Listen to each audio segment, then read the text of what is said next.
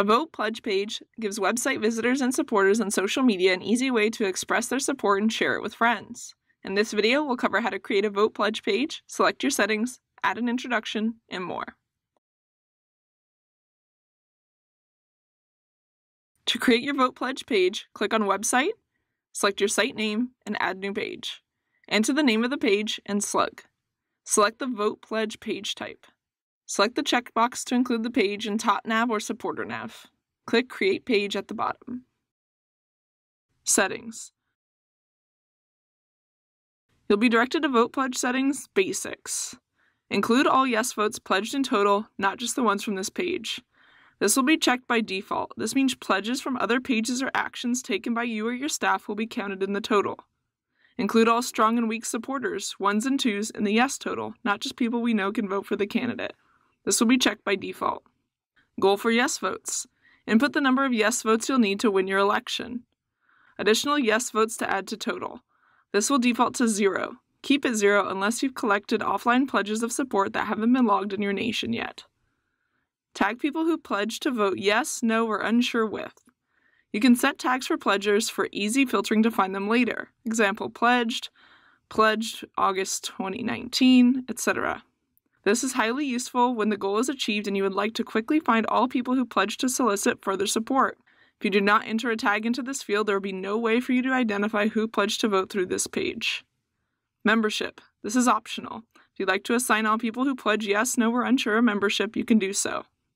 Add to path. This is also optional. Select this box if you'd like to add everyone who pledges yes, no, or unsure to a path. Click Save Settings. Intro. Once you set up the basics for your vote pledge page, you can set up the introduction. Give people a little information about the candidate or issue you'd like support for. When your introduction includes a video, this is the perfect page for people to send their friends. Headline. Enter whatever headline you'd like to use to appeal to your audience. Write a short blurb that will display before asking people for their support. Click Save Intro Text. Yes, unsure, and no. Answer specific settings. Next, you can set up specific settings for each type of pledge answer. You may assign a point person to the pledger if a point person does not already exist for that person.